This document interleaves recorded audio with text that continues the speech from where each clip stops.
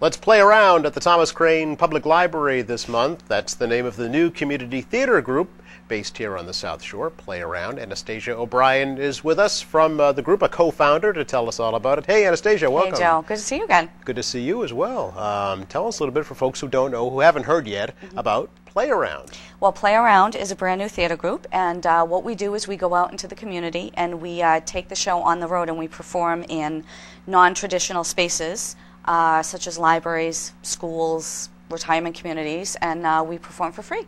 How long has this uh, been going on now? It's been going on, the group was actually uh, started uh, in 2011, but we have been actively performing uh, since January of this year.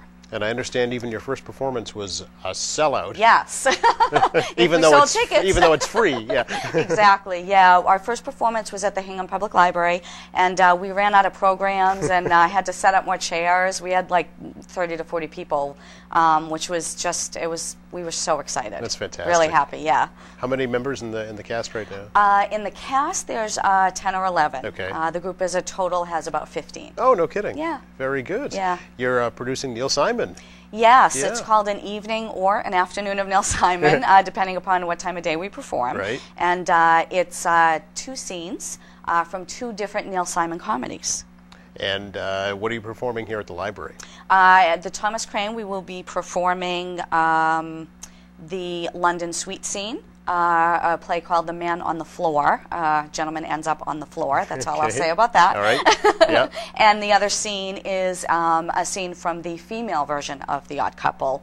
Uh, so it's uh, Olive and uh, Florence instead of Felix and Oscar. Okay. And uh, they're uh, meeting uh, two Spanish brothers for a date. So Oh, very interesting. Yeah, okay. Yeah. Now, your members are these professional actors? Are they? Some of them are professional actors. Yep. Some of them are very inexperienced and kind of brand new, and you know want to start getting out there and acting and gaining experience. Uh, we take people at all levels. Sure. Yeah. And uh, as I mentioned before, these are free. Yes, they are. Yeah. They are free. Yeah, that's part of my vision. Um, I, uh, I, I just had a personal experience once that uh, taught me how powerful um, you know theater can be, and mm. so I just kind of feel like everybody should be exposed to it. But especially with the recession and everything, not everybody can get to it or afford it, unfortunately.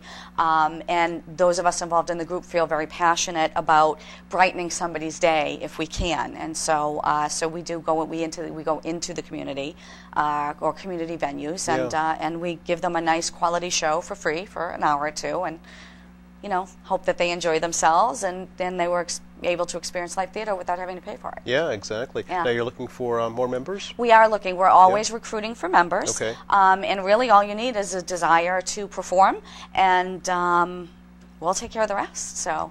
Very good. Yeah. I know that you're, you're um, interactive on social media. You have a website. Yes, uh, yes. We have a Facebook yeah. page. Yeah. Um, it's the Play Around uh, uh, parentheses Massachusetts Theater Company. Right. Um, and we also have uh, www.playaroundma.com uh, is our is our main website. Very good.